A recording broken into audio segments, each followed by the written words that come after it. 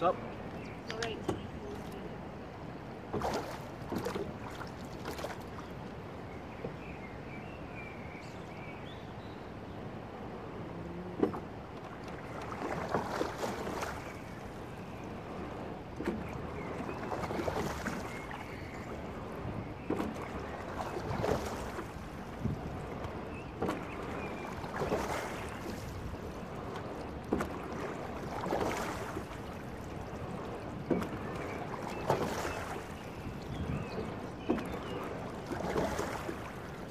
time today, sculling away from the West Boat House. Banks of the Glasgow Green, the River Clyde. This is us just starting off on the reach of river which the rowing community uses. It extends from the tidal weir at Glasgow Green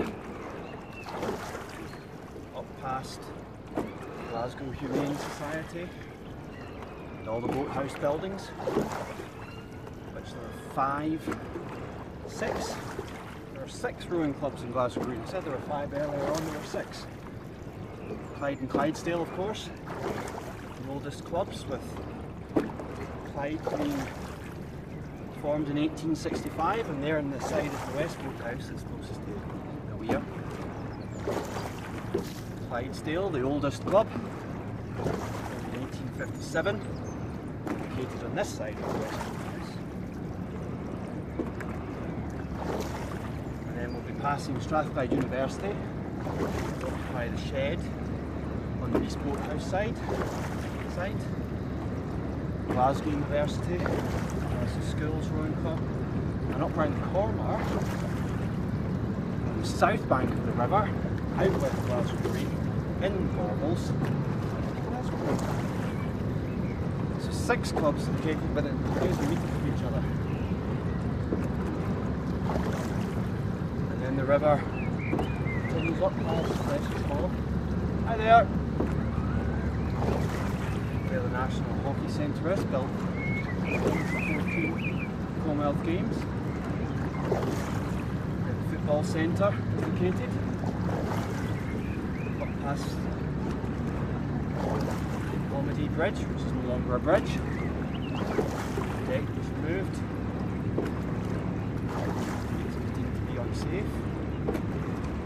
Past the Wilderness Development at Richmond Park. The Rutherglen Bridge, which connects Shawfield with Bridgeton. Historic crossing point in the river. And that's about two kilometres upstream. Thereafter, move up to Cowan's Bend, which is about two and a half kilometres upstream, where the confectionery factory used to be.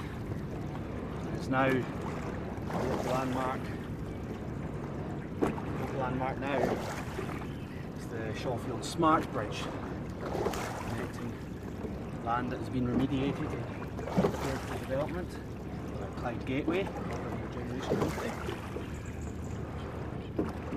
Trying to encourage more commercial investment. And creation of jobs in the area. Beyond the new smart bridge, past site to easy access the river, clearing on the bank, called, invariably called blue railings, which is installed, latterly known as the Spaceman, burned for the heated, and the oil waste, which has since been painted over.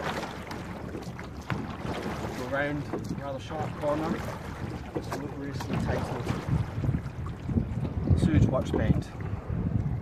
Here then we see the East Boat House. Straight behind us is the site that's occupied by Glasgow University.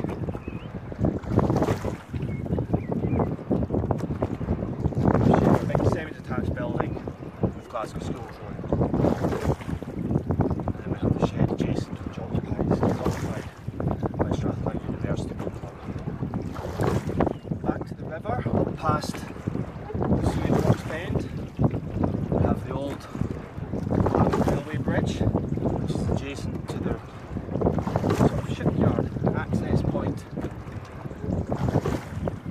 the river, where the cruising club access the river with their pleasure boats. Every now and again you'll see them motoring up the river to meet high tide when the weir is open. Proceeding up through Railway Bridge, which connects Rutherglen, Dalmarnock and Bridgeton, Dalmarnock Road Bridge,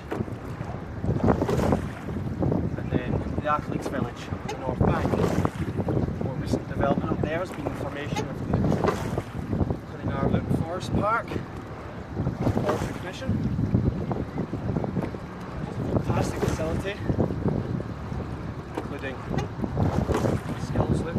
Loop for your mountain bikes and bouldering, riverside walkway.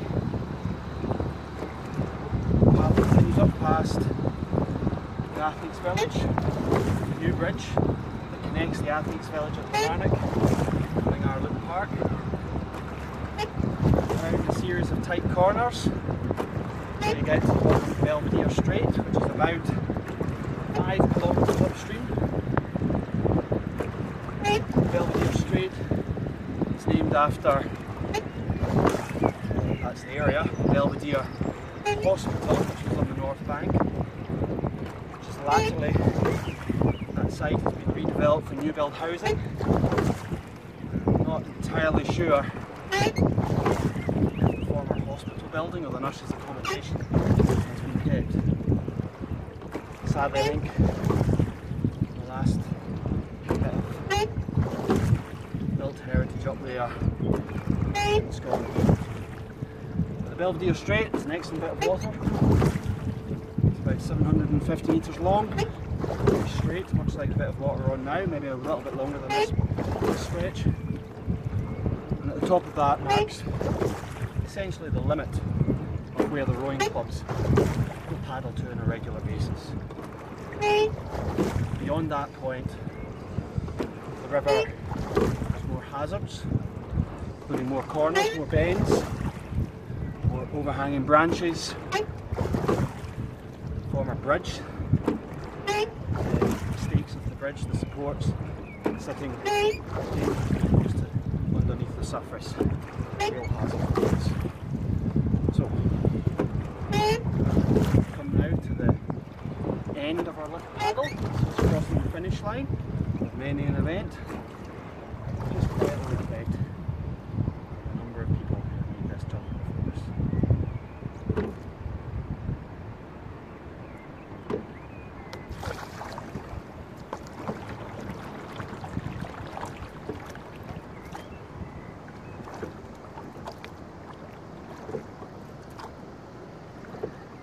And now, it's the West Boathouse, category B listed building. Timber frame structure sitting on the banks of the River Clyde Glasgow Green. Glasgow Building Preservation Trust are working with two rowing clubs who occupy the building just now to convert this big semi building to a fully shared boathouse.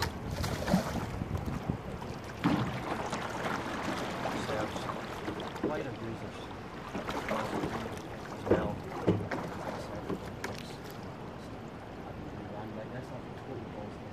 Mid-flow. I thought that. I thought you were showing off for that. I was showing off the camera, but I've totally ballsed up the landing. Come round again. We'll edit it in.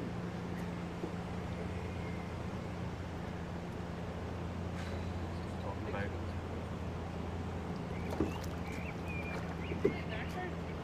It's because I am. Do you want another shot of the of trying to land it with with spiel? Thing is, I'll be. I could just get on with it. Is what I'll do.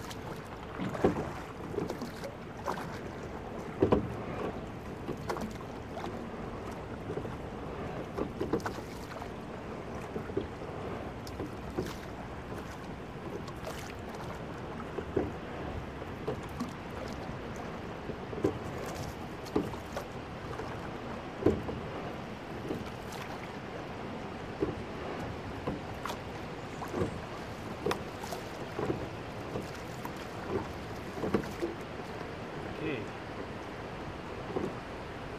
Looking behind us now, over the stern of our boat, we're looking into the heart of Glasgow city. The first bridge we see in the foreground here, in fact, isn't a bridge, it's a pipe bridge, it's a tidal weir. It's an amazing structure built at the turn of the century. Like a mechanical weir which is currently retaining probably about two metres height of extra water. At this point upstream Upper Clyde. Far side of the weir, still predominantly tidal. You see a huge range of. It's the formation of this weir which really encouraged the development of the sport of rowing in Glasgow. It was the last major infrastructure development to affect the Rowing community. The formation of that weir stabilised the water levels of the Upper Clyde, provides an excellent reach of river, perfect conditions rowing on.